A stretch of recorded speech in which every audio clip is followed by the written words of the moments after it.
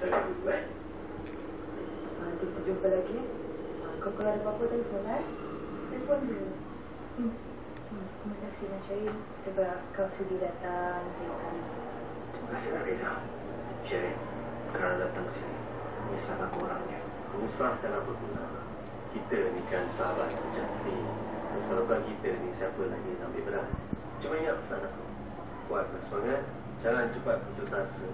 Dan jangan cepat mengalah. it does need something to be.